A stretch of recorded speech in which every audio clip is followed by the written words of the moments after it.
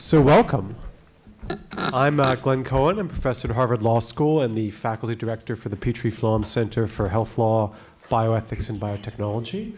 And I'm delighted to welcome you to the first event, not only of the Petrie Flom Center this year, but for our, joint collaboration with the Center for Law, Brain, and Behavior, which you'll hear about in a moment. Um, I'm going to introduce the main moderator for the event, although I'll help moderate the Q&A. Uh, but I do want to say ahead of time, you look like a pretty civilized group, so this is probably goes without saying. But while we prefer passion and you know justice and impassioned ideas at the Harvard Law School, we also like a dose of politeness. So remember that how passionately you may feel, make sure to express it in a relatively polite and non-hostile way during the course of this. We do hope to stir the passion, if only a little bit tamed by politeness. So I'm going to introduce someone who's both extremely polite and extremely passionate, which is Dr. Judith Edersheim. Uh, she's the co-founder and co-director of the MGH Center for Law, Brain, and Behavior. She's an assistant professor of psychiatry at Harvard Medical School, an attending psychiatrist in the Department of Psychiatry at MGH, and she graduated from Brown, obtained her law degree from the Harvard Law School. She was a law clerk to the Honorable w, Robert W. Sweet, United States District Court judge for the SDNY, practiced law for a while, and then made the brave decision to go back to medical school and became a practicing forensic psychiatrist.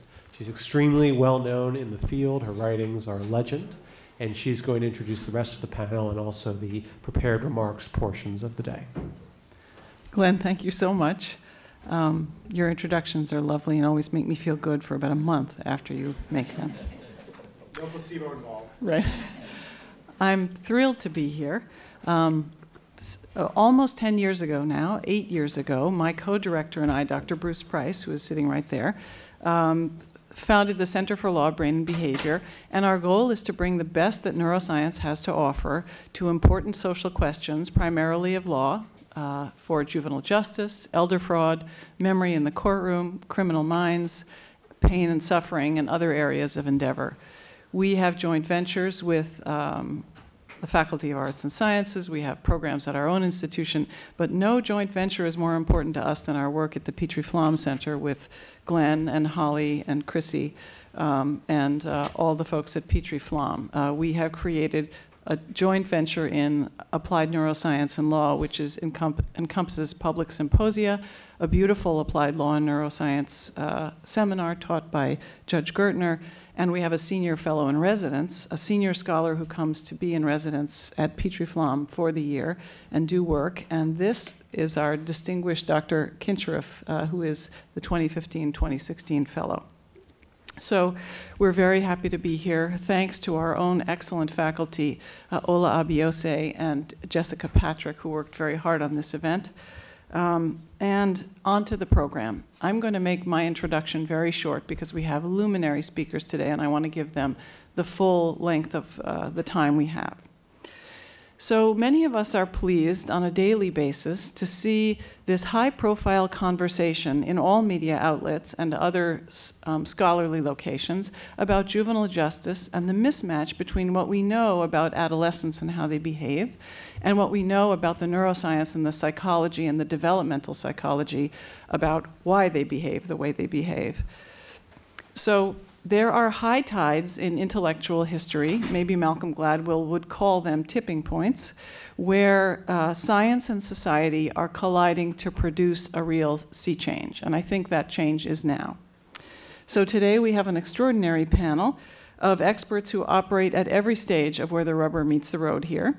First, Dr. Leah Somerville, expert in the neuroscience of the adolescent brain, is going to talk about the differences between adult decision making and adolescent decision making. I'm going to introduce every panelist before they speak. Uh, then Robert Kinscherff, uh, psychologist, attorney, public policy expert, is going to frame the evolution of judicial doctrines with respect to adolescence and the criminal justice system, and uh, uh make us understand the difference between best practices in juvenile justice and what's really happening on the ground. Uh, and finally, Judge Gertner is going to use a current uh, case to illustrate why the judicial system is having such difficulty incorporating and responding to new findings in, of neuroscience, psychology, and psychiatry in why adolescents behave the way they behave and what we should do about it. I'm going to introduce each panelist one by one. I'm going to ask them a few pointed remarks and put them on the spot for you in between the remarks. And then uh, Professor Cohen is going to do the Q&A afterwards so everyone will get a chance to speak. So now on to the introductions.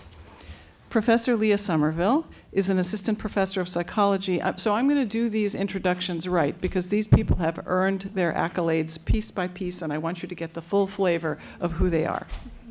She is an assistant professor of psychology at Harvard University, director of the Affective Neuroscience and Developmental Laboratory. She's also a faculty member of the Harvard Center for Brain Science, the Harvard Mind Brain Behavior Initiative, and of course the Center for Law, Brain, and Behavior. She received a Bachelor of Science degree at the University of Wisconsin. I didn't know that. A PhD at Dartmouth, and did her postdoctoral training at the Sackler Institute for Developmental Psychobi- uh, Psychobiology at Weill Cornell Medical College. Professor Somerville's research focuses on drawing linkages between trajectories of brain development and changes in emotional, social, and regulatory processes, her kind of regulatory processes, not your kind of regulatory processes. Um, using behavioral, psychophysiological, and neuroimaging methods and developmental, developmental trajectory analysis. Currently, her work is focused on understanding how social and emotional cues selectively influence adolescents' decision making capabilities, how incentives shape adolescent regulatory behavior, and the neurodevelopmental mechanisms that underlie heightened anxiety and self conscious emotion during adolescence. Please welcome Dr. Somerville.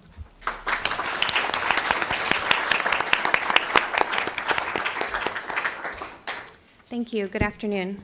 So, I'd like to start off today's discussion by trying to illustrate some of the ways in which the adolescent brain is different from the adult brain and how we can interpret information about these brain differences with regard to adolescent typical behaviors.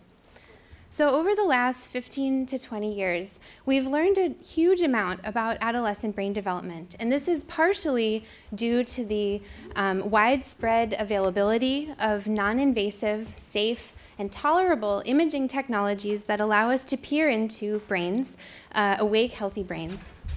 One of these kinds of technologies is MRI uh, technology, which allows us to acquire various kinds of information about brains including information about the structure of the brain. Um, and this is scrolling through a structural image from ear to ear. Um, we can take measurements then of the overall size of the brain and the size of different parts of the brain using images like these. We can also isolate white matter tracts that traverse throughout the brain and carry information. So these are sort of information processing highways of the brain. We can also tune the scanner to slightly different kinds of information and understand how the brain reacts to various kinds of provocations, for example, winning money or um, experiencing fear. And studies have typically looked at the developing brain by bringing in volunteers ranging in age from child to adult and then being able to map trajectories of differences in these groups. And other kinds of approaches, like longitudinal approaches, would allow you to track a single person over time. And finally, we've also learned a lot about adolescent brain development using animal models, which allow for a greater degree of precision in measuring the brain and its developmental stages, um, which I'll highlight today as well. So, what I'd like to do today is highlight three lessons that I think at this point we have uh, pretty clearly learned about the adolescent brain. The first of which is simple the adolescent brain is different from the adult brain. So, why do we think this is true? The overall size of the adolescent brain is no different from the adult size of uh, brain size. So, the overall um, amount of tissue in the head is not changing. But if we were to sort of um, open up the head and look at certain aspects of the brain uh, under the surface, we'll see dramatic differences in even the very structure of the brain. One way we can do this is to divide the brain up um, sort of grossly by two different kinds of tissue, gray matter and white matter. Um, and white matter I'm going to start with, which is the uh, information highways that pass information within brain circuits and integrate information across brain circuits. So these are really signal transmission pathways of the brain. And if we were to plot over age, from childhood to early adulthood, uh, the overall amount of white matter that the brain contains, what we see is a, is a sort of substantial rise uh, in both males and females in the overall amount of white matter that exists in the brain. And we can also look at gray matter. And gray matter is a different kind of tissue. These are the sort of neuron bodies, the information uh, computation centers. And if you think about a brain region you might know the name of, it's probably made up of gray matter.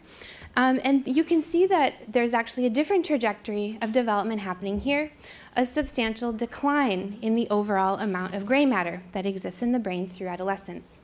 And this might seem uh, on its face like a bad thing. We're losing tissue, and that indeed is happening.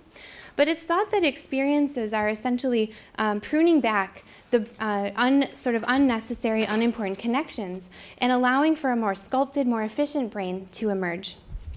And so, if we were to uh, draw some conclusions about the gross structure of the brain in adolescents compared to adults, we could say something like um, the sort of gross structure of the brain is similar, but the overall efficiency of the brain and its signaling um, is still improving into adulthood. And the integration of information across these disparate circuits is, is uh, improving as well. But this would be the story if we considered the entire brain as a unitary structure, which we never do. And rather, we know that the brain processes information in modules um, that are functionally distinct and located in different parts of the brain. So we can ask, well, what parts of the adolescent brain are developing the most actively?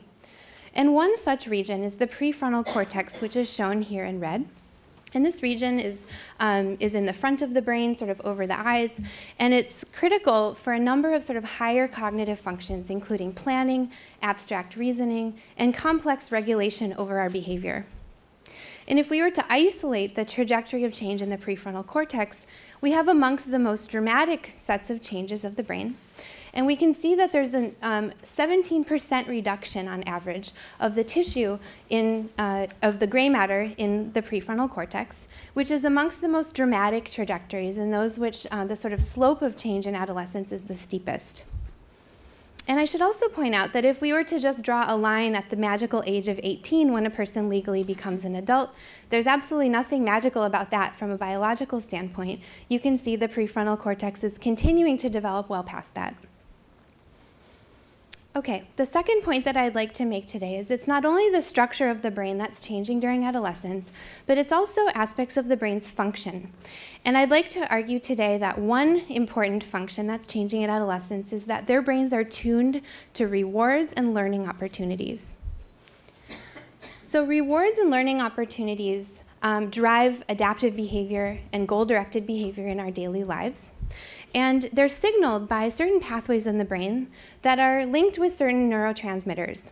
And there's one particular pathway called the dopamine pathway that is signaled by, you know, dopamine is sort of the signaling mechanism within this pathway. And this is a pathway that's critically important for detecting opportunities to learn from the environment and also detecting and orienting behavior toward rewards.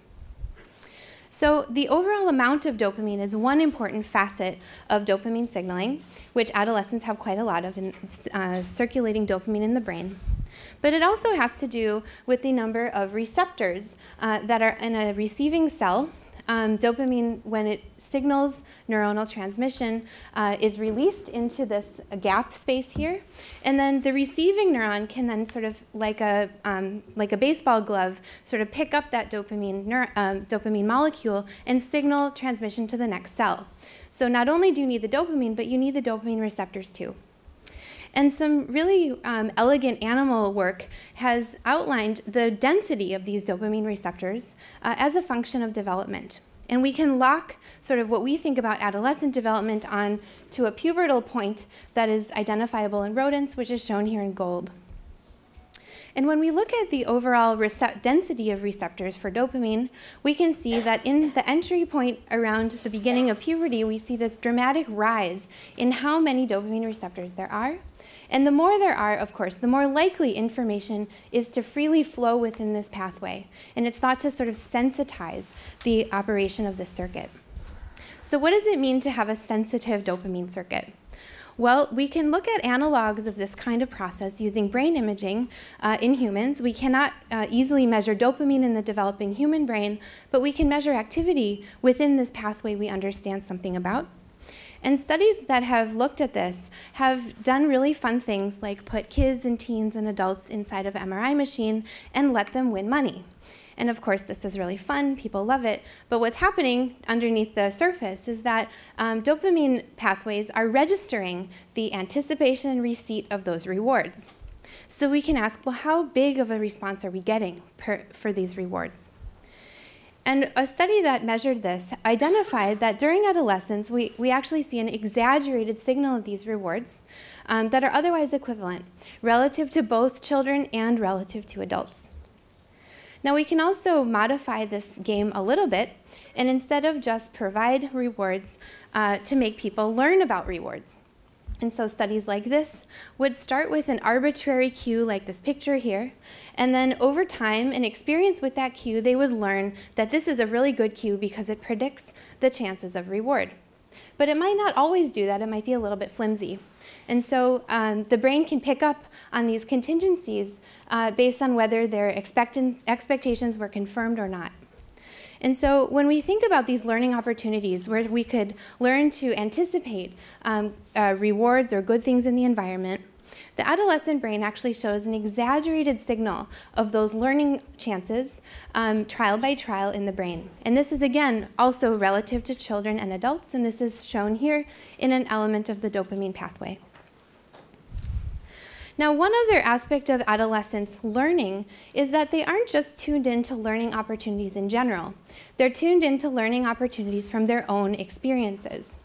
And of many parents might already know this from your own uh, interactions, but we can also identify this pattern in, the in a laboratory setting.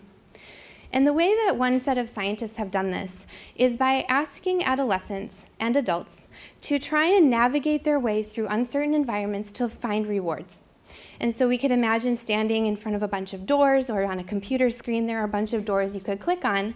And behind some of those doors would be rewards, and behind some of those doors would be nothing. And it's your job to, through your own experiences and trial and error, figure out which doors to go toward. But these researchers did something a little bit uh, tricky and smart. Uh, rather than just let people freely go through the doors, they introduced uh, what they called a false instruction. So what this was, was the experimenter gave them a clue, like this door is a good one, but that actually was not correct. And so the question then was, how frequently would adults uh, sort of stay on that instruction and, and uh, perseverate on it uh, and, until they ultimately realize that it's not a good instruction? And how, or how quickly would people rely instead on their own experiences in order to guide their behavior toward these rewards? So plotting uh, here is over time, how frequently people find the rewards. And in adults, they at first, for a while, uh, do pretty poorly at this task. And this is because they're following the false instruction. Well, that person told me to, so I better stay over here, maybe it'll change. And then eventually, as it didn't change for a while, uh, adults eventually sort of gave up in, on that instruction and went toward the more rewarding options. Now, adolescents initially also went toward that false instruction, but more quickly adapted their behavior based on their own experiences and sort of abandoned that option um, and were able to actually obtain more rewards in this task. So, what I'm plotting here in yellow is the sort of learning advantage that adolescents are exhibiting over adults. And this learning advantage really comes into play when adolescents have a chance to learn from their direct experiences. Okay, the final point that I'd like to make today about the adolescent brain is that it does not develop in isolation. Rather, it's a product of interactions between brain developmental trajectories and the environment which molds it. And this can happen in both positive and negative directions. So for one, we can examine the degree to which the environment can impact the brain in extreme cases. For example, studies uh, looking at adverse rearing environments to ask if you were an individual who, were, who was raised in a, in a highly deprived environment, would that sort of reflect in the trajectory of brain development? And Margaret Sheridan, who is a CLBB faculty member who is not here today, conducted some really beautiful research on this topic using a very special sample of orphans who had been, um, who had been raised in very deprived circumstances in Romania. And they were able to measure uh, in 8 to 11 year olds in this group, relative to typically developing uh, individuals, um, how, what, what kind of impact they may have had on the growth structure of their brains. And what I'm plotting here um, is the overall amount of gray matter and white matter that we saw earlier in those trajectory plots. Um, here, what we're seeing, though, is in both cases, the institutionalized youth had smaller brains. And this was true both in terms of gray matter, which was thought to have been over pruned or over sculpted due to a lack of input and lack of experience with the, with the environment, and also a sort of slowed trajectory of white matter growth. And that this is a sort of represents a stunted brain, if you will. And so, um, highly deprived and highly negative environments can uh, essentially hijack neurodevelopment and, uh, and stunt the growth of the brain. But it's not just highly deprived environments that we believe matter. Um, and I, will explain that in just a moment. But what I'd like to also mention is that in this uh, study I just showed you, that was looking at the entire brain as one big conglomerate. But of course, as I mentioned earlier, different parts of the brain are, are developing at different times. And during adolescence, one of the key parts that's developing is the prefrontal cortex. So there's a metaphor we believe to be the case um, about the interaction between the environment and brain development, which is that moving parts get broken. Those brain circuits that are undergoing the most dynamic development are the same ones that are susceptible to either positive or negative effects on the environment. And this is because their development depends on a certain suite of expected inputs. And if they lack those inputs, that could essentially bend that trajectory of development in a very regionally specific way. And so one study demonstrated this, I think, in a really interesting way. And this study looked at um, uh, markers of brain integrity in two different parts of the brain. The hippocampus, which develops very early in life and is associated with learning and memory functions, and the prefrontal cortex, which we've talked about before, as actively developing during adolescence and being important for high cognitive functions. So what they looked at was the integrity of these regions in adult brains as a function of whether they had experienced adversity at two different times of life. So one group of these adults had experienced adversity between the ages of three and five, very early, and this is when the hippocampus is having its major wave of development. What they found is that in terms of brain integrity measures, that the hippocampus was negatively impacted by this early adverse experience, but the prefrontal cortex was essentially fine. But if instead we look at individuals who had experienced a similar amount of adversity, but instead during adolescence, what they found was the hippocampus was largely okay, but it was actually the prefrontal cortex that had a long term impact from that experience. This moving parts get broken metaphor. And so I would suggest that the developmental trajectory of the prefrontal cortex is very tenuous during adolescence, and that the expected uh, inputs and the positive aspects of the environment uh, and negative aspects of the environment could have a lasting effect. And I just want to remind you that these effects here are not temporary. These are in adult brains, just as a function of their earlier experiences. So these are lasting imprints uh, of these early experiences on brain development and health for the, across the lifetime. So I'll end by just mentioning one thing, which is that we can imagine the negative consequences of highly stressful, deprived, and violent environments on brain development. But we could also imagine expected inputs to the adolescent brain that could become ultimately make the brain uh, richer or it could impact the brain in a negative direction. These ones might hang on, on a balance. For example, given that the adolescent brain is sensitive to learning opportunities, what learning opportunities an adolescent has access to could sort of spiral their development toward positive, healthy outcomes, or it could impact the brain in a detrimental fashion. And likewise, given that the adolescent brain is highly sensitive to the social environment, something I didn't have a chance to say much about yet, um, modeling after peers is another facet of adolescent brain function that's, that is supposedly sensitized. And so, depending on who those peers are and what can be learned from them, this could uh, sort of spiral them toward good outcomes or bad outcomes.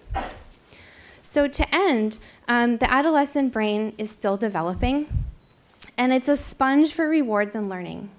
And given this sort of sponginess of the adolescent brain, I think it would need to be treated with care. We would want to avoid the obvious, highly negative situations, but we would also want to provide the inputs it's expecting in order to undergo its final waves of maturation in the most optimal way possible. Thank you very much. Now, before Judy does the next uh, introduction, let me just mention there is one seat over there, and there's these two, especially for those members who are standing who are a little less steady on their feet. If you want to sit down on either side, we'd love that rather than have uh, people be stressed while this. While, while Dr. Kinscherff is loading a, um, a presentation, I'm going to um, use my prerogative to both congratulate Dr. Somerville on that presentation and then put her in the hot seat. Um, so first, I, I do have to say what a great presentation to, to take what Dr. Somerville does on a daily basis and bring it to this level of simplicity for those of us who know relatively little about neuroscience is, is really remarkable. So thank you. Um, in the title here, we talked a little bit about Tsarnaev and the Tsarnaev case. Um, and one, uh, the, all the buzz before the Tsarnaev case in neuroscience circles was what role would adolescent neuroscience play in that case? Um, there were uh, some luminaries who were reported to be assisting in the both sides of this case, and appropriately so. Um, and the question is, what could a neuroscientist say? In the end, the neuroscientists said basically what you said um, in a less scientific form, which is adolescents make uh, decisions in a different way from grown-ups, and that this should be taken into account when thinking about how they behave. But almost nothing was said about the particular defendant in that case. First, he was 19, and we're going to hear a little bit about doctrine from Robert in a minute. Um, and then the question becomes for those of us who do occasionally go to the courtroom or uh, for the judges here and the policymakers, will one be able to place an adolescent's brain on the continuum of mature, immature, uh, grown up looking, child, childlike? Is that possible? Will it be possible? What data would you need to know those things about the individual before you? Yep, this is a very interesting question, and I think it actually gets a little bit to the heart of the uh, struggle between applying science, uh, scientific uh, ideas to individual people. And so all of the data that I presented today were averages. That is, that there's a characteristic, typical pattern that emerges that might differ across development. But what I didn't show you are any specific data points, really. And this is for a good reason, because as scientists, we're, we work in probabilities, um, and very little of what we what we find um, can be extrapolated to inform uh, a pattern from a single person.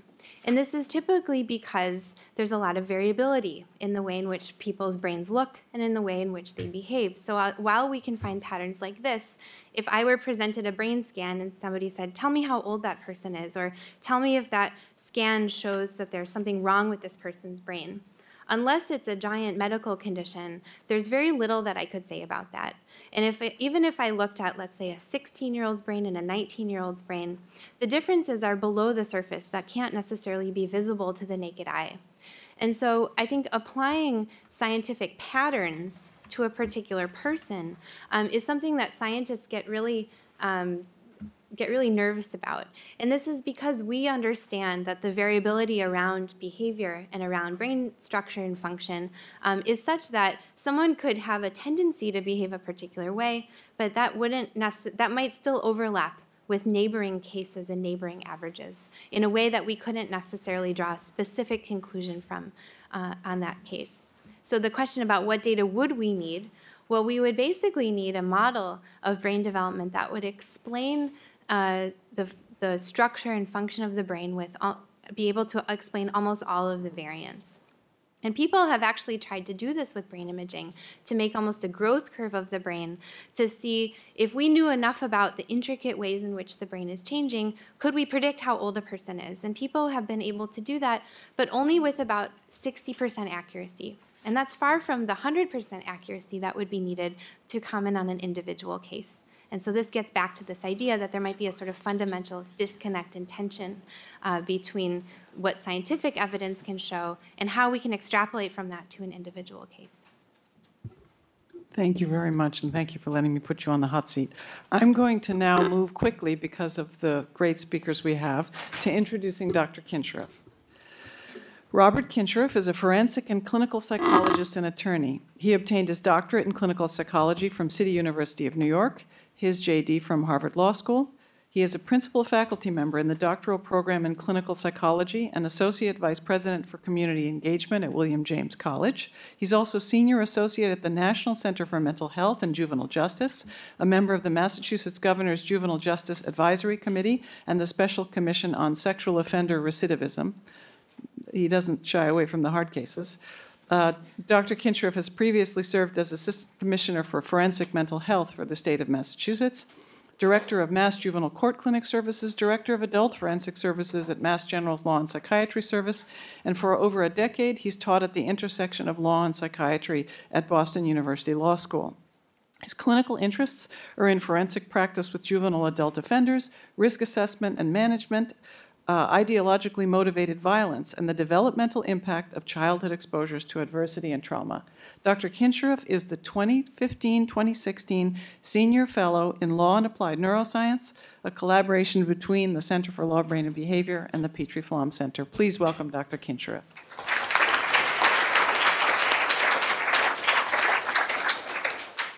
Thank you very much for that generous introduction. I'm going to have my son call you soon. my um, task this afternoon is to do a sort of quick overview of the intersection between law and some of the behavioral uh, reflections of the kinds of developmental issues that Leah has spoken to us about from a neurodevelopmental point of view. And I'll start off, and I apologize in advance for the legal scholars because I know that in these areas of law there is a lot of complexity that could take up a seminar of this kind all by itself. Uh, but the short form speed dating version of the recent development of law, we'd probably want to anchor in Gault, which was the sort of beginning of the modern era of juvenile jurisprudence in which most but not all of the constitutional protections given to adult criminal defendants were uh, also found to be constitutionally required for juvenile defendants as well.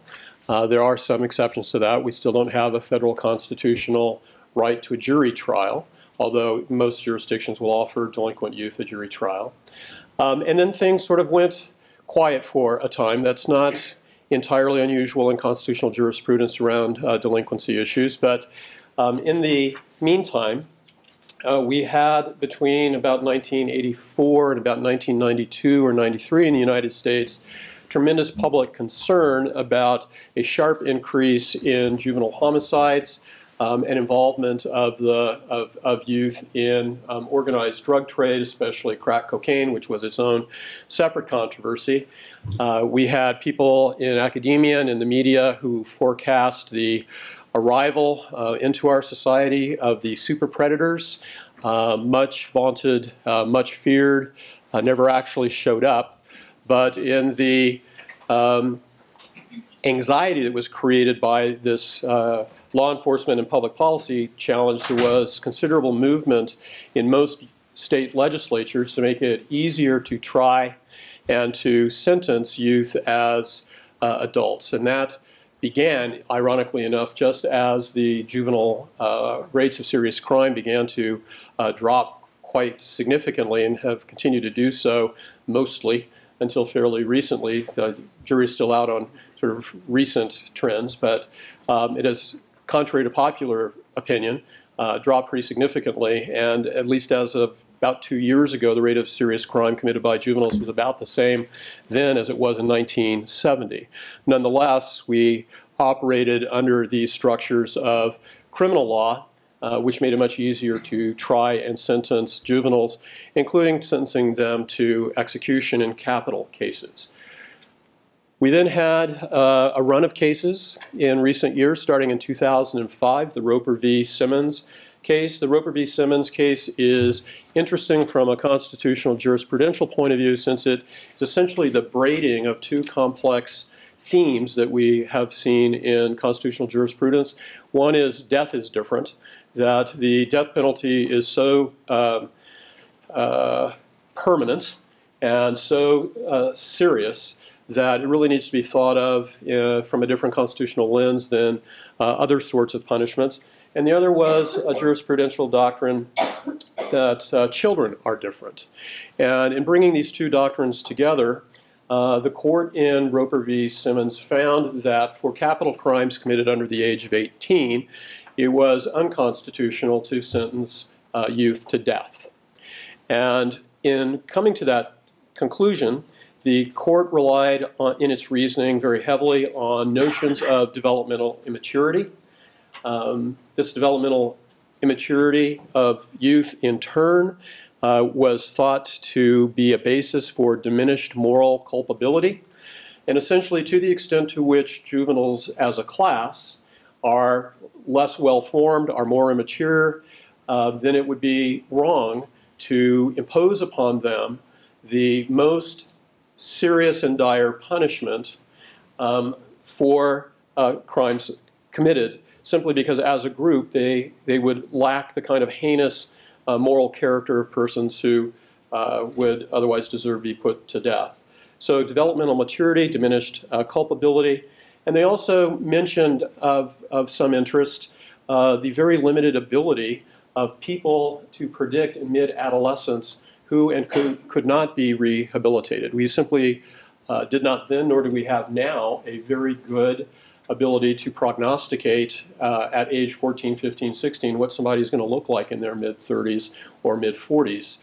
And the court noted that uh, the jurisprudence of death typically required some thinking about whether or not this person would uh, be capable of rehabilitation or continue to be a violent offender over the course of their life if not put to death.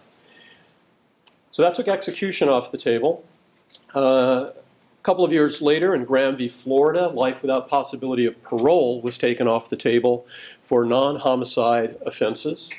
And then that left the uh, case of Miller, which was decided just a couple of years ago and in 2013 was extended in uh, a case called Diatchenko to Massachusetts law. And in Miller, the court moved away from considering youth as a class and instead uh, required uh, individual sentencing determinations if life without possibility of parole was going to be imposed. Um, what the court did strike down in Miller were statutory schemes which left the courts no discretion at the time of sentencing, the mandatory life without possibility of parole schemes, uh, such as we had in Massachusetts. And at the time that the Miller decision came down, um, we had roughly you know, 50 plus people um, serving life without possibility of parole, uh, having been sentenced under the old mandatory uh, scheme. So that's sort of where the court has been heading. These have been uh, closely decided decisions, um, um, as reflected in the Miller vote. Uh, along the way, there was an interesting case um, where I'm not quite sure yet what the constitutional um, potential of it is, but I think it's probably worth thinking about, and that is JDB versus North Carolina, which was a Miranda case, and we'll circle back to that one. So mapping on top of what uh, Leah has been telling us about, we have had uh, very good research uh, over the years, and particularly in recent years, about normative adolescent development. And we know that there is tremendous variation amongst adolescents, um, and that they are a very heterogeneous group of young human beings. But these are general characteristics of adolescence, and we see that they tend to uh, decrease with age, except those where they actually get better at something, such as uh, the ability to perceive risk and apply it personally to yourself, or the time spent in problem solving. All these do increase with age. So um, one of the things that should probably have triggered a, an investigation um, of my parenting practices was that for some years I used to take my son with me uh, to, when I would teach my law school class. and um, this started when he was about eight or nine and went on far too long. But this uh, is, a, is a vignette. Um, my son had been suspended from school. I had come home uh, to find him there, quite to my surprise, since I was coming by from the office to pick something up in the middle of the day. And um, opening my mouth uh, and trying very hard not to sound like my father, uh, who was a career Army colonel and expected clear answers to prompt questions, um, I, I channeled my father's voice and heard myself say, Matt, Matt, what could you have been thinking? And he looked at me and he sized me up and he went, hmm, thinking, thinking. I, I believe, Father, you are presuming a fact not in evidence. and I think he was telling me the truth.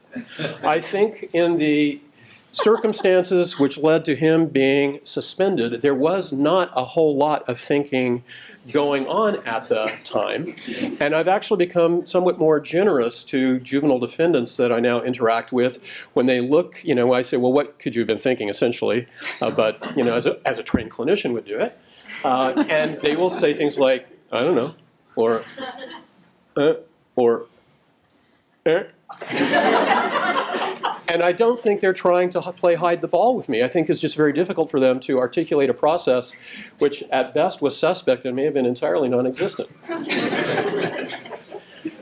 so some of the, um, I'd, I'd, like to acknowledge the following slides uh, uh, in the ways that professionals do when people have done good work and then, then you seize it, uh, appropriate it.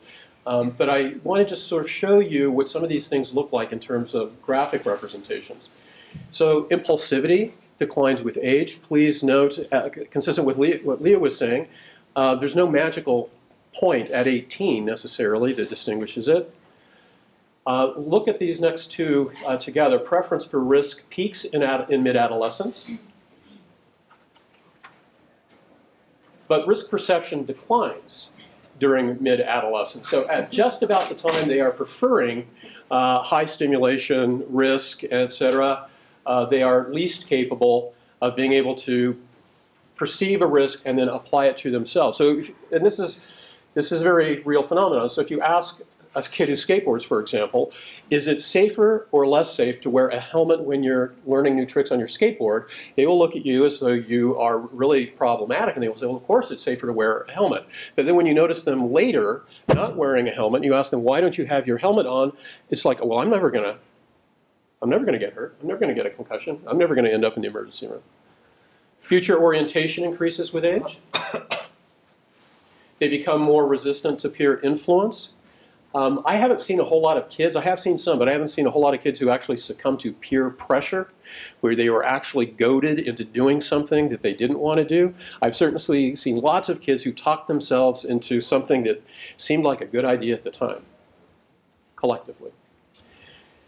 And um, so building on that, Dr. Jay Giedd at NIMH observes that it's sort of unfair to expect teens to have adult levels of organizational skills or decision making before their brains are finished being built. And that process goes into their 20s. Interesting enough, that process corresponds with the very high rates of self desistance as youth move out of mid adolescence into early young adulthood, even for serious violent offenders uh, very few of them are actually going to penetrate deeply into the adult criminal justice system, all other things being equal. But as it happens, not everything uh, goes by all other things being equal because the youth, the, the data I just showed you is normative adolescent development. The youth who tend to penetrate or are repeat uh, players in juvenile justice tend to be um, non-average youth and that they tend to be uh, youth of color, um, and not only youth of color, but at the intersection of race and extreme poverty and its multiple stresses and often paucity of supports. There's a highly disproportionate number of youth with psychiatric disabilities, learning disabilities, substance use disorders, intellectual disabilities in the juvenile justice system at such a high rate that there are those amongst us, including the Honorable Judge Jay Blitzman, who has joined us, who have begun sort of talking out loud about how the juvenile justice system in the United States has essentially come to operate as a default forensic mental health system for large numbers of youth. And this is borne out by the number of youth who are in facility-based uh, juvenile incarceration for nonviolent crimes uh, but significant learning, mental health, or other needs that they could not get met elsewhere. Only to say these children are not like the other children. And we've also seen mapping onto what Leah was telling us about uh, that the number of adverse childhood experiences in youth correlates with uh, additional adaptive and developmental challenge for children who are exposed to high levels of adversity. So if you are one of these youth, if you have adolescence plus a history of high or chronic adversity, you are even more vulnerable to emotional dysregulation, elevated stimulation seeking, or limited option detection, and the like. Um, and we see their higher rates of depression, anxiety, self-harm and self-risk, and substance use in juvenile justice uh, populations all the time. So key suspect contexts with legal implications for youth in contact with juvenile justice. Uh, there are kids who can think through very clearly if they're not highly emotionally aroused and if they have some reasonable feedback from somebody around them. Neurocognitive people or cognitive psychologists call that cold cognition. So that same kid who can actually sit down and think about how to write the essay to get into Stanford may also be a kid who, with other kids, um, in a highly stressful situation and intoxicated, may do the damnedest thing, and you will wonder how that kid could possibly have done that thing. Um, peer relationships and loyalties, if those are implicated, if the task requires the ability to detect and assess options, uh, the ability to project alternatives and outcomes out in time, if the decisions that they make or activities in which they engage occur without input from a meaningful, knowledgeable adult, somebody who cares about them, and without opportunity to deliberate. So some of the legal domains implicated um, are the kinds of situations in which there is a poor match for adolescent development.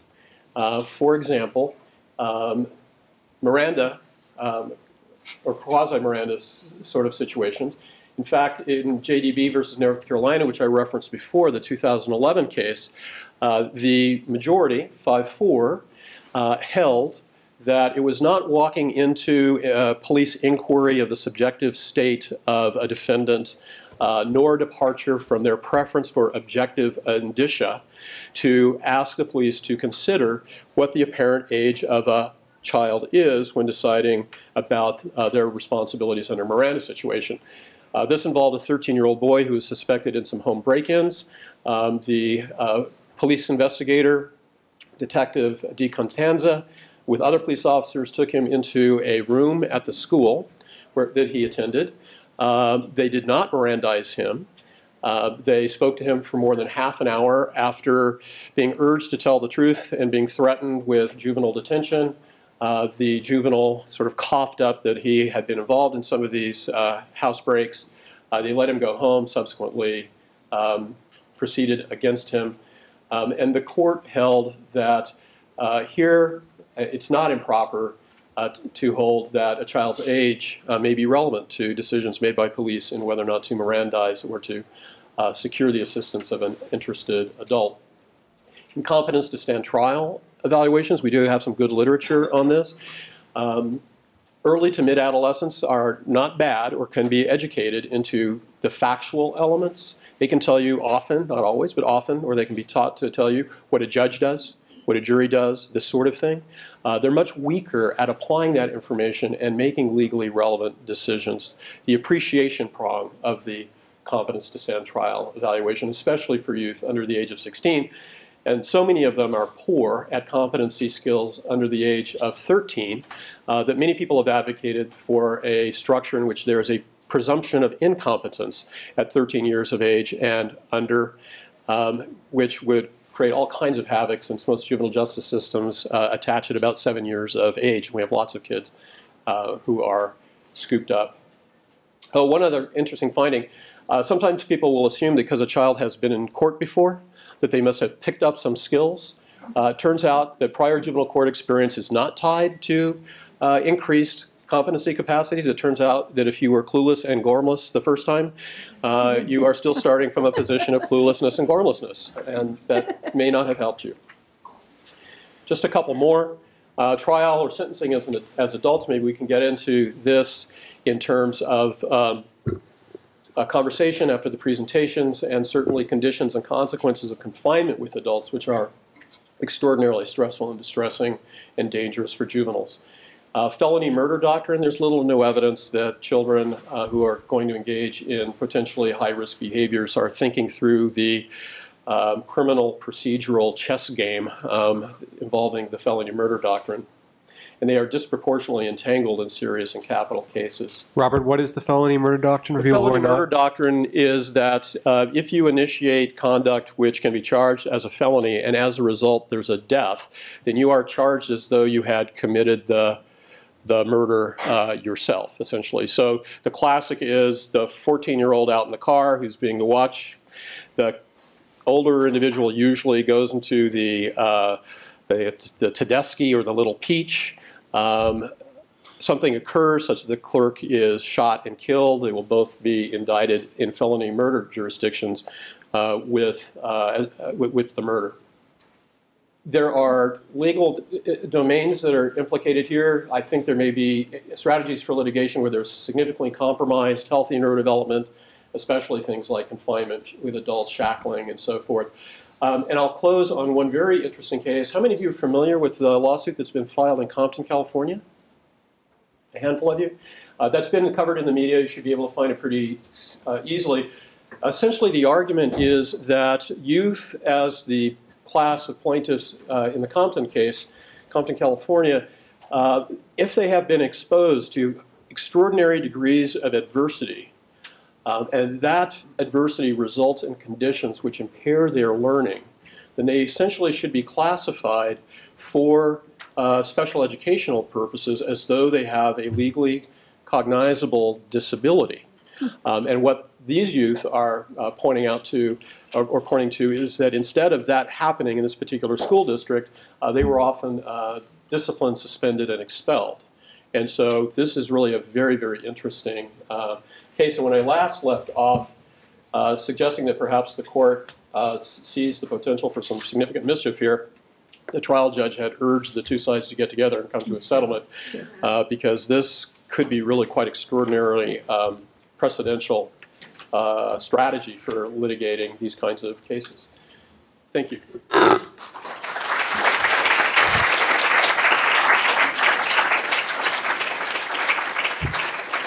Dr. Kinscherff, thank you so much. Um, I know we gave you a Herculean task, a whirlwind of summarizing the entire jurisprudence of adolescent development and its implications, and you were up to the task. And as a reward, I'm not going to harass you with any questions right now.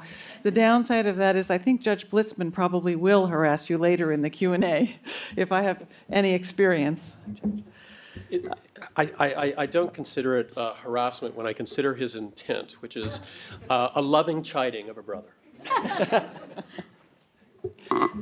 I'm going to introduce now our, our last panelist. I wrote the introductions this morning and had so much trouble getting her introduction on one page that I had to abbreviate things like Harvard Law to HLS. So I'm going to, I'm going to give you a one-page summary, and I've left a vast amount out.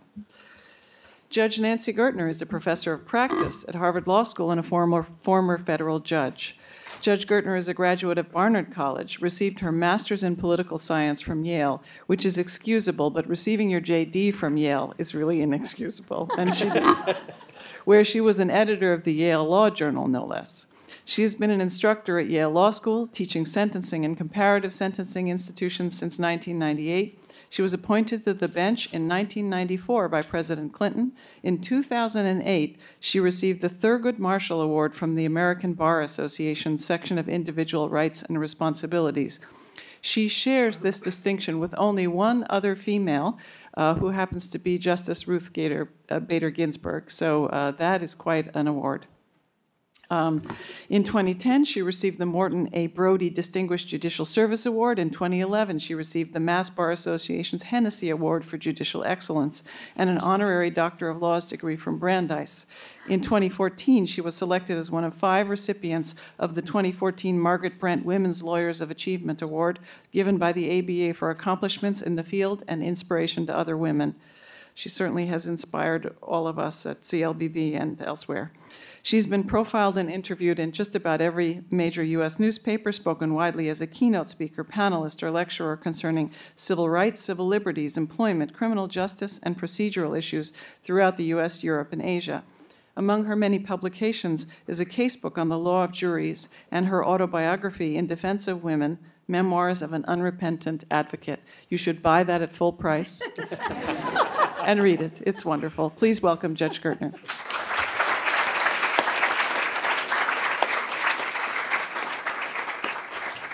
I have to begin by saying that I hate PowerPoint. So look at me. I'll make it go away. Good, make it go away. There are two uh, principles that I want to begin with, which is actually not my intent to begin with until I heard the other presentations. One principle is that we have created this wonderful science, uh, has created um, uh, the circumstances under which we are now looking at enabling discretion to individualize children. You can't have life without parole, mandatory life without parole. There has to be an opportunity for either a judge at the front end or a parole board at the back end to individualize.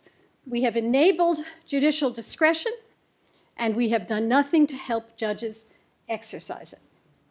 Uh, and 17 years on the federal bench convinced me of that. So that's one side of it. It is exactly Dr. Somerville's wonderful observation that we know how to deal with the G, the group, the averages, but we don't have the tools to deal with the I, the individual, and yet that's what I was supposed to be doing. The other general principle is related to that, which is that all of these averages uh, suggest that we know a, a great deal about the group of children we are sentencing. And the deficits that they have go across the board. And it's precisely because there are general deficits uh, that individualizing doesn't work. In other words, what do we do in a situation where everyone, everyone that I sentenced, virtually everyone, and I'm now analyzing my own sentences. I'm doing a resentencing of the Gertner sentences over 17 years. Everyone that I sentenced uh, virtually had an abusive childhood, was kicked out of school in the 10th or 11th grade, uh, had undiagnosed psychiatric issues, all had uh, addiction issues. Uh, the abuse stories were, uh, one was worse than the other. And if everyone is in that category, how do you individualize? If everyone is in that category, how do you individualize? Let me start with a story, because I'm a storyteller. Um, I represented Edward Palmariello when I was a lawyer. Edward was accused of killing his mother. Uh, the story, which I couldn't tell during his trial, was that uh, he, in fact, was the youngest of six or seven children. All the other children left home by the time they were 14 or 15. Edward was the youngest, and there was no one around to protect him. And he was at that point too young to leave. De- uh, the Department of Social Services was rife with stories of his abuse uh, at the hands of his mother, mostly physical abuse, and then when he became, when he got older and she could no longer hit him, it was psychological abuse. But I couldn't bring out that story. I represented him on, a first degree murder charge, killing his mother. I couldn't bring out that story because I would then have provided the motive for first degree murder. And there was substantial evidence that, in fact, the killing had been an accident for various reasons. So if I told the story of his abuse to a jury, I would have essentially walked him into first degree murder. He was, in fact, convicted in any event of first degree murder. And at that point, the sentencing moment, I should have been able to tell the story of the abuse and, and what the system had failed to do. Yours, just in case it's an emergency. Oh, no, no, no, it's not. I have no idea who that is. I, Another I client rotting someone out. Just kidding. No, no, no, no, no, no. If it's my sons, if it's my sons, you see, there are unique ringtones for each of my sons that reflect how difficult they are. But that's another question. Um, my husband, who's an ACLU lawyer, his ringtone is lawyers, guns, and money. The shit has hit the fan. Put that aside. In any event, in any, getting back to Edward, ed, getting back to Edward Palmariello. Uh, so I, when he was convicted of first-degree murder, the very relevant story of his background, again, I could not tell. And I couldn't tell that story because convicted of first degree murder and he got life without parole. So it was not relevant to the sentence. It was not relevant to parole. It was relevant to nothing. But it was relevant to me. Then, a few years ago, the Supreme Judicial Court uh, uh, issued the decision in the Diatchenko case which made it clear um, that life without parole was wrong, and that each of these individuals who had been vulnerable, who had been subject to, had been sentenced to life without parole, each of them should um, uh, be enabled, be allowed to have a parole hearing. At that point, I wrote a letter on his behalf. I was off the bench. I wrote a letter describing all the things that I could not describe when I was a lawyer uh, on his behalf. He goes before the parole board, and like so many others like him, he was denied parole. And why was he denied parole? Because of the nature of the crime. The parole board, which had now been given discretion to exercise, to exercise discretion, to individualize, had no idea how to do it or what to do. So we have now the Miller decision and the Danchenko decision have famously allowed, uh, uh, in the case of the federal system, mandatory uh, life without parole, not in the federal system, have the, the Supreme Court eliminated mandatory life without parole. Um, but states across the country now say a judge has the discretion to, ex- to sentence someone to life without parole. Or better yet, there have been fabulous changes in response to Miller, which is now you have the discretion to sentence someone to 35 to 40 years instead of life without parole. And on the state side, in, in, Massachusetts, the SJC decision was somewhat broader, but the result has not been materially different. Why did that happen? And what can we do about it? How can we, uh, how can we take advantage of this movement to recognizing uh, to enabling discretion on the one hand and on recognizing how flawed this entire category of children are on the other. Um, the Miller decision, which was the Supreme Court life without parole decision, uh, when you read it initially, you say to yourself, why did it take neuroscience to tell the justices of the Supreme Court that the juvenile brain is different?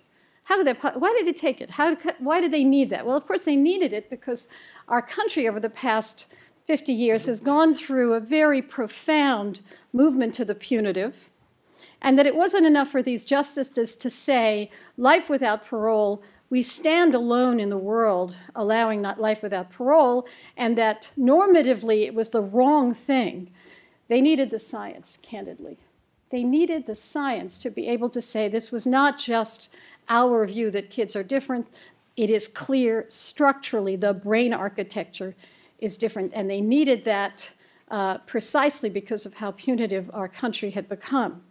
Um, the case law surrounding punishment had gotten to the point where uh, uh, it was almost as if judges were seen as not competent to make fine distinctions. That's what, as between individuals. That's why we had mandatory minimums. It was punitive, and judges could not be trusted to make the fine distinctions. I'm going to bring this story around in a circle. So in the 80s, it was judges couldn't be trusted, and now all of a sudden we see a different kind of movement. Why did we go to this sort of anti discretionary, anti judge, very punitive view of the world? Well, part of it was in the 1980s, there was a very famous uh, and somewhat infamous, actually, report, a book that had been written by a man named Robert Martinson. When asked what works, his answer was nothing. He then, he ultimately actually withdrew that observation, but that became the mantra of a nothing works, and therefore we should be, the only thing that makes sense is a punitive regime with due process safeguards. Not only nothing works, but we can't trust judges to make distinctions between individuals. Uh, and so that's why we needed a mandatory minimum system, a retributive system. We, so we've done a bit of a circle here. The Supreme Court decision, the SJC decision, is enabling discretion. We should not have life without parole. Judges at the front end or parole officers on the back end should be able to exercise discretion about individuals. But judges still don't know what to do. I, I knew how to criticize mandatory minimum sentencing. I was fabulous at it. I knew how to criticize uh, uh, guideline sentencing. Again, there was no one better in the galaxy. But then, after I had criticized what the government had presented, then the question is, what do you do? And at that point, uh, I want to I want to say I had no idea. I had less of an idea. So we ca- the same concerns 80 years ago that had and that had uh, led to this incredibly punitive anti-judge, anti-discretion environment. Uh, we're still we still have now. Uh, what works? Being risk averse works. Uh, if you're risk averse and you err on the side of imprisoning someone, the odds are that no one will criticize you. Um, what works, it, just like the parole board did, uh, we've not done anything to, in a sense, immunize the public that the exercise of discretion is bound to lead to mistakes because the science is not there. In other words, the exercise of discretion with the best information is bound to lead to, if you recall, Willie Horton. Bound to happen. But Willie Horton uh, is less of a problem than prison is. Uh, so we have enabled discretion but have not given the judges the tools to deal with it. And what do we do with the notion that so many people in the category of people that I was sentencing, the category of the young men mostly that I was sentencing, uh, have these kinds of defaults, have these kinds of deficits, rather? What do you do about that? Um, and individual sentencing can't address that. I have a couple of challenges to this group, to Petrie Flom, to CLBB, to people who care about these issues. Um, one is we have to look at this institutionally. If everyone is in the same category, you have to look at what were the institutions that created it.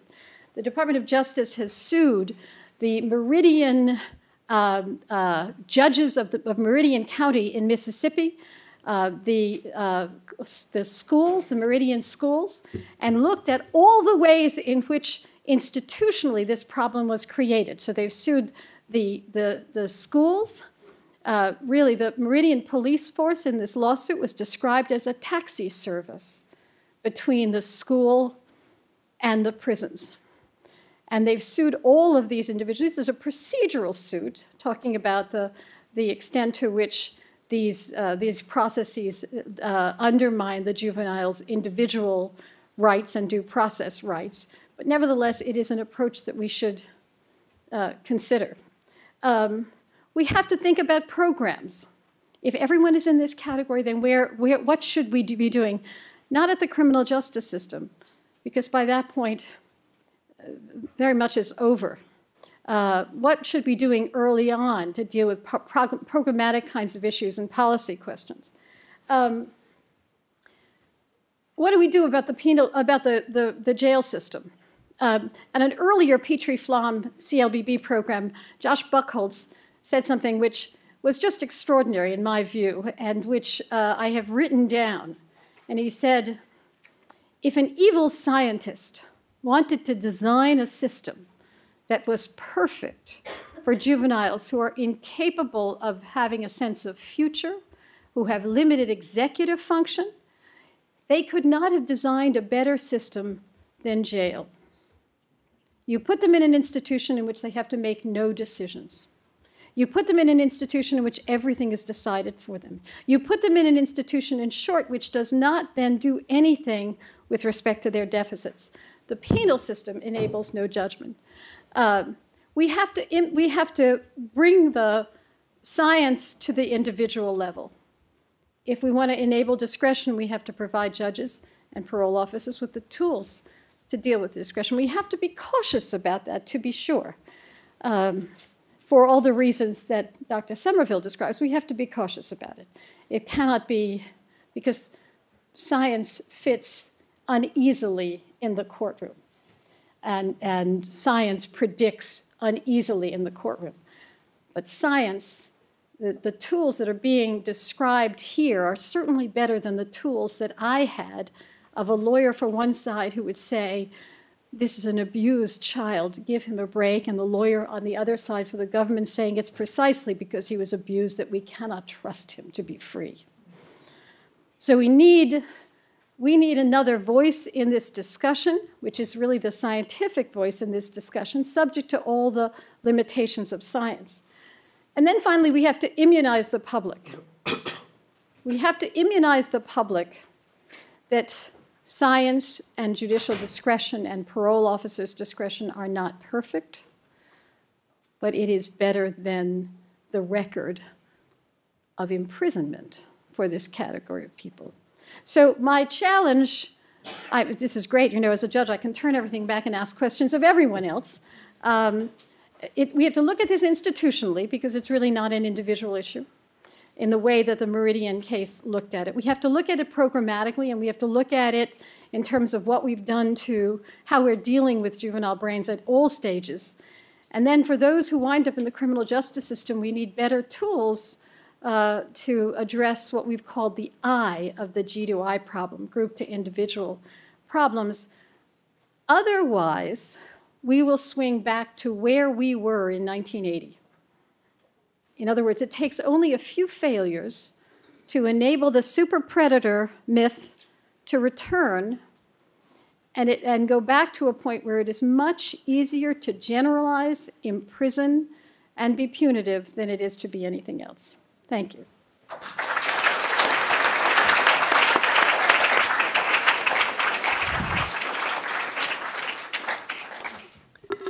Judge Gertner, thank you for that wonderful presentation.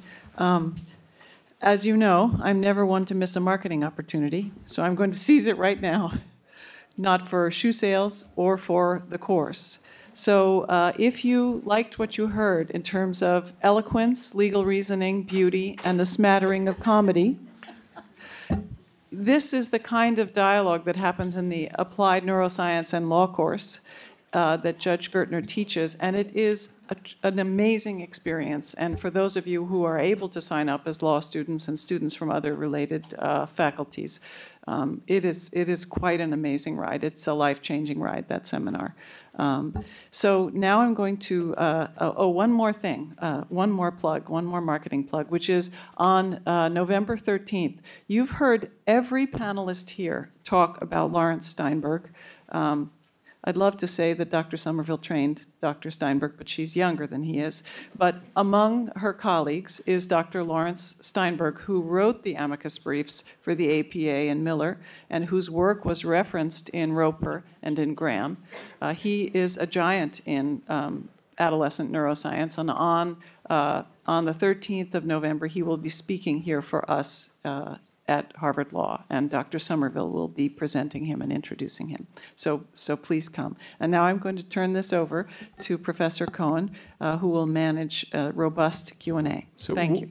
One more thing is that we'll have a reception after this, which will also be the open house for the Petrie Flom Center, just down the hall in the pub. So please come join us afterwards. So Justin is going to bring a microphone around for Q and A. If you have a question, raise your hand. I've got a question while he walks over. Let's start with that young lady in the back.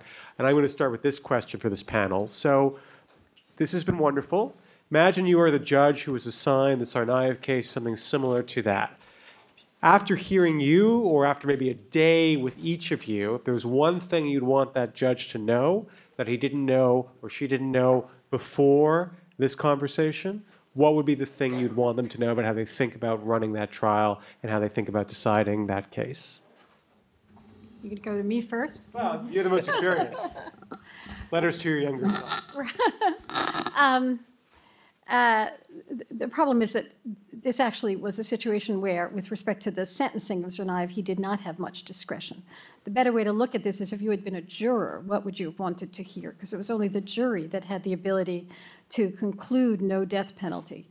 Uh, the jury heard general themes that, again, are the themes that we all grew up with. You know, the older brother matters. You don't make good judgments when you're a juvenile. Uh, I would have, but as I said, with respect to the Miller decision, those sort of old saws don't go very far. They seem routine and, and, and normative almost. I would actually have loved this jury to see those brains, to be able to put this not in the category of, gee, my younger brother is a pain in the neck, but to put this in the category of there are really is an architecture different with respect to juvenile brains. Now, we understand that we are doing that in general, you can't do that in particular, but that would have provided the baseline of the discussion. So you know you're dealing with variations on the theme of those averages as opposed to uh, something totally different. Whether the outcome would have been different is a, is a different matter, but that's for because of procedural problems, actually. would you, would you have, I'm going to pass this along. Would- You are, you're, you're hired by the defense, Dr. Kinscherff. What would you have said? This is great. What would you have said? Your Legal advice. Tell us what your testimony would have been. Um, well, uh, let me start with the observation that I've been involved in enough cases that are covered by the media that I appreciate that what is reported in the media and what actually happened in the courtroom often have incidental and transient correspondence uh, with each other.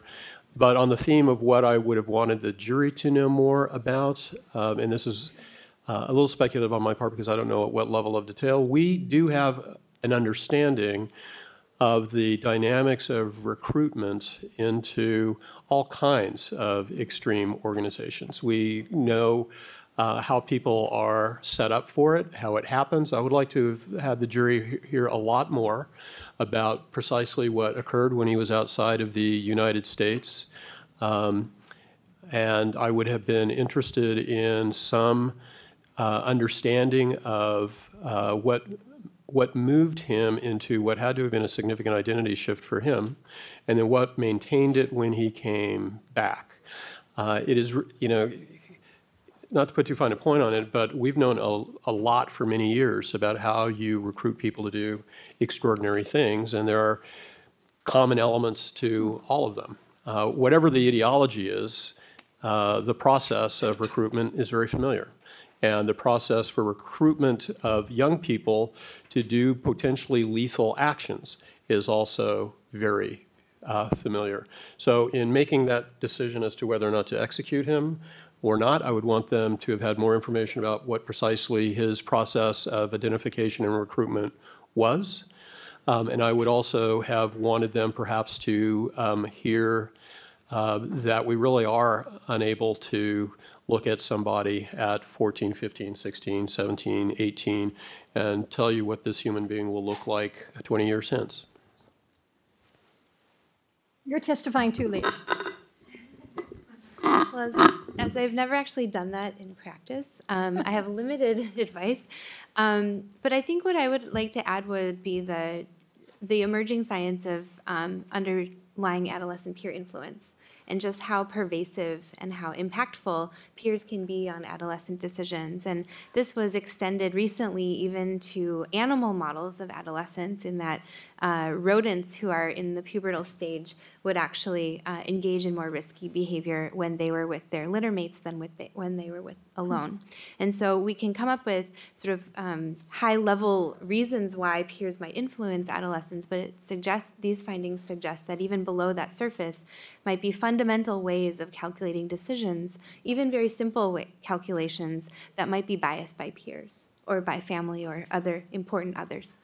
Great. Let's go to that question over there. And someone else's question, we can get the microphone moved after it's asked. Uh, first of all, thank you all for coming and speaking. This has been a wonderful talk so far. Um, uh, this question is kind of directed towards Judge Gertner, but I'd like to hear from all of you if you have any answers. Um, as a judge, do you think the discretion would be more useful if there were more options for sentencing as opposed to just a certain number of years in prison?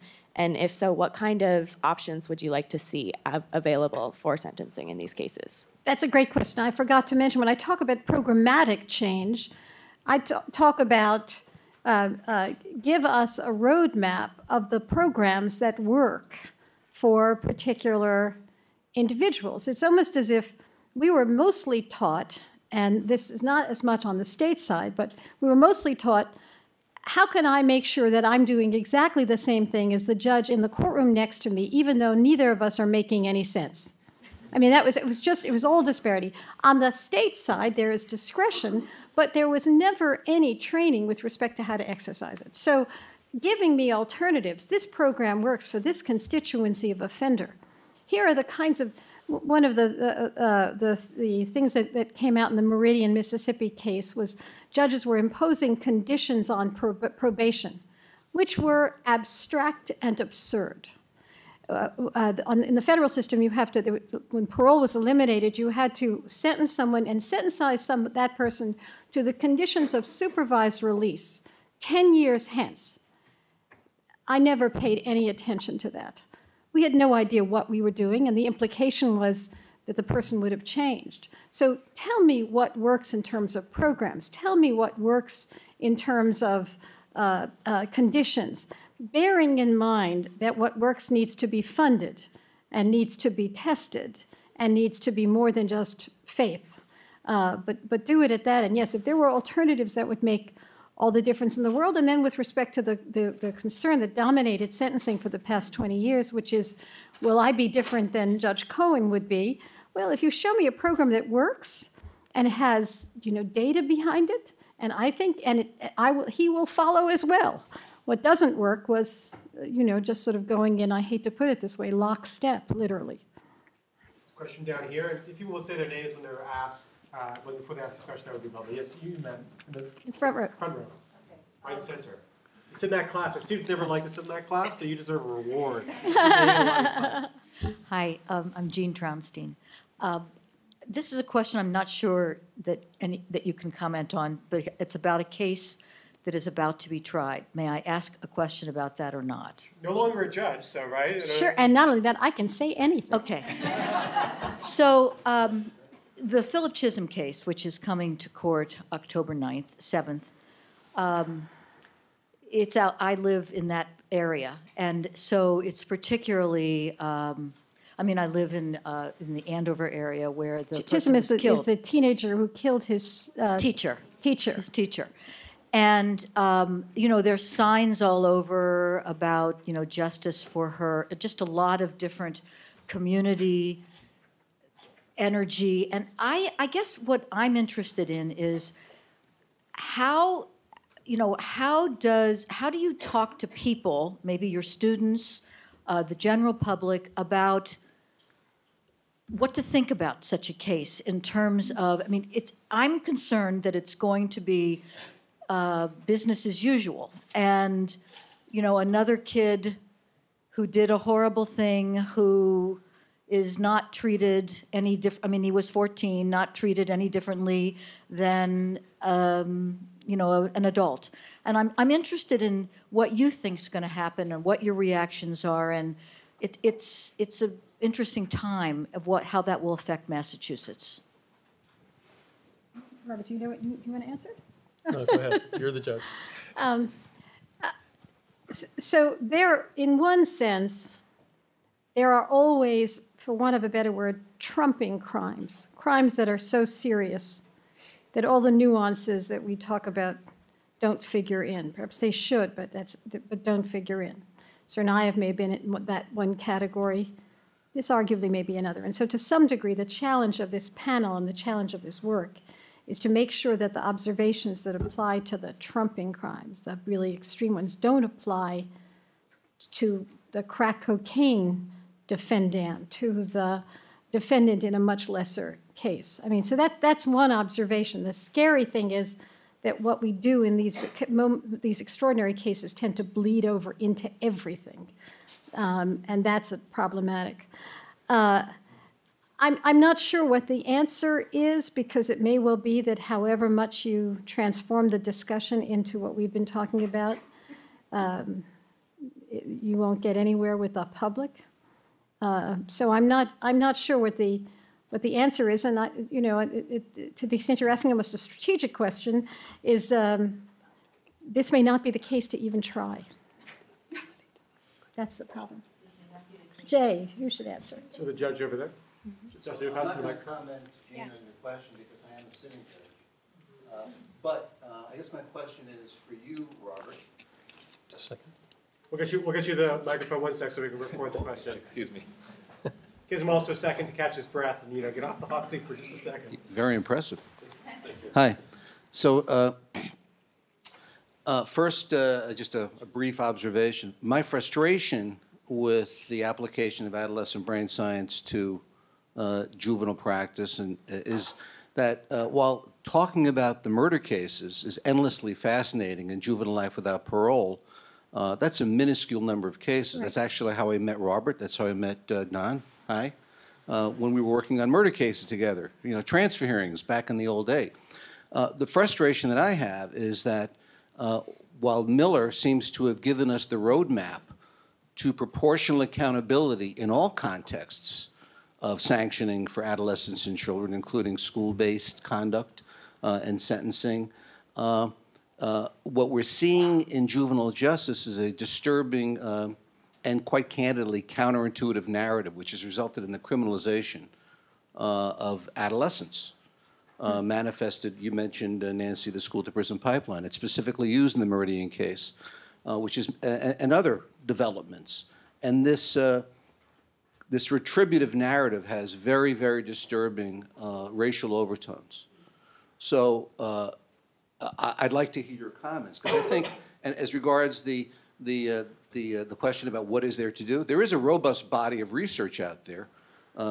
Uh, re-examining juvenile incarceration, Pew Charitable Trust Foundation, which indicates that alternative forms to secure uh, incarceration, including community-based supervision and probation for short periods of time, uh, actually reduces recidivism uh, and at much lower cost because of the, uh, the isolation model uh, is antithetical to what kids need. We know that. Kids need social connection. They need the connective tissue. Right. So I'd be very interested in hearing remarks about, uh, about this, Robert. Well, I actually think that um, we are at a, a, moment where the pendulum is in equipoise. Um, that I think there is a growing body of consensus from both the right and the left that is breaking down the old discourse of are you hard on crime versus are you soft on crime? There's nothing in the middle. And people uh, with varying um, philosophical and political approaches beginning to think about uh, smart on crime particularly juvenile crime, because it's become fairly clear that treating youth as though they are adults um, simply doesn't work very well. So in the states where they have much more punitive approaches, the, since most kids who are incarcerated, even if they're incarcerated after an adult conviction, they're home on average by about 26, 27 years of age. Uh, many of them are not going to be there for life. Uh, many of them are not going to be there for 40 years, 50 years. Many of them are going to be there on a first or lesser uh, felony or a series of lesser felonies. Um, and they're going to be back. And the youth that are treated as though they are adults uh, tend to come back uh, more rapidly. Uh, they tend to recidivate in a shorter period of time, and they're more likely to do so with a serious crime against a person. So if it worked, and oh, by the way, incarceration is about the most expensive way that you can engage in intervention.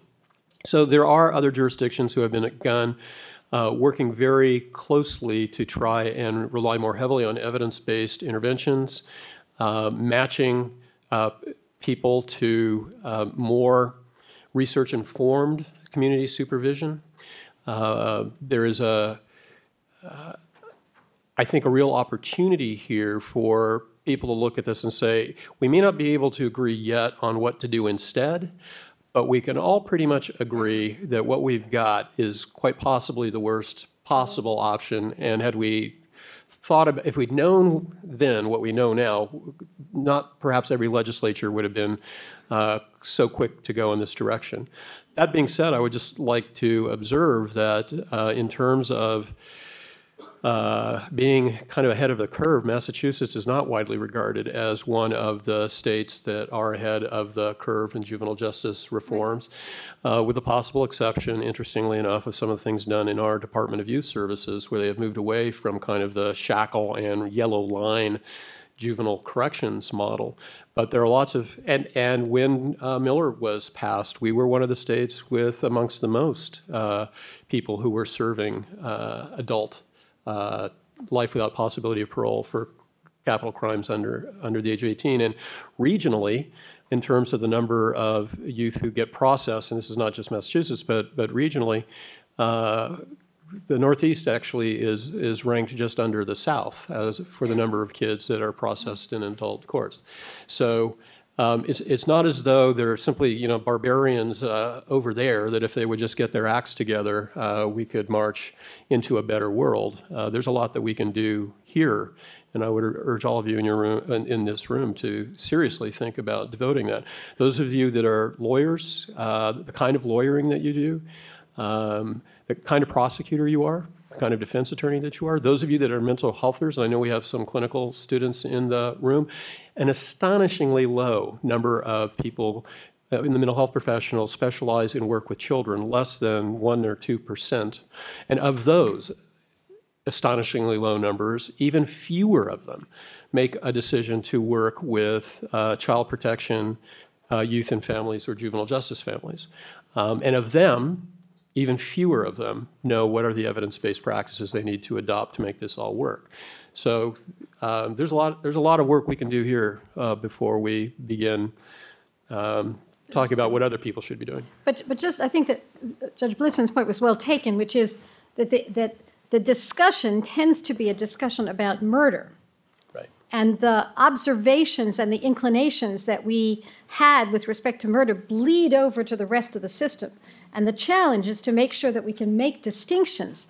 I still didn't answer, Jean, your question, but it seems to me that we have to make sure that these issues are addressed in the non murder cases.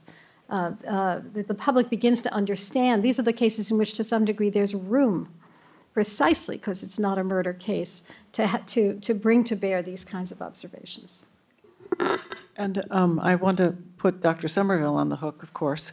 Um, it's, it is, uh, I've learned a lot uh, from Dr. Somerville um, about the contexts in which adolescents make their decisions. So when you're talking about cases that are not murder cases, that are drug possession cases, that are gang cases, there is some data that I think Dr. Somerville would say is relevant in terms of contextualizing mental state. And I'm going to ask about that.